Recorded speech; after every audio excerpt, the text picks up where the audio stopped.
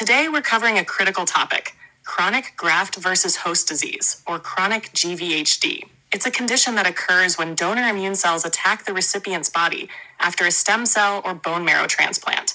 Chronic GVHD can affect multiple organs and systems, so recognizing its presentation is essential for effective management. To make it easier to remember, I'll share a simple mnemonic initial three letters of chronic and GVHD. Let's break it down. The letters C and H stands for cholestatic liver disease, which refers to liver dysfunction marked by impaired bile flow. The letter R represents respiratory involvement, specifically bronchiolitis obliterans, which leads to airway obstruction. The letter G is for gastrointestinal involvement. Symptoms include nausea, vomiting, and diarrhea.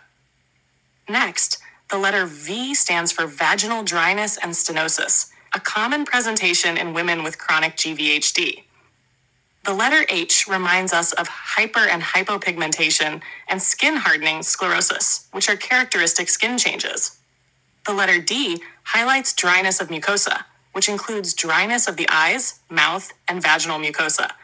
Remember, chronic GVHD is an immune response that can impact multiple organs, requiring early recognition and management to prevent complications. That's it for chronic GVHD. Keep the mnemonic CHR GVHD in mind to quickly recall its clinical features. If you found this video helpful, don't forget to like, share, and subscribe for more quick medical mnemonics. See you next time.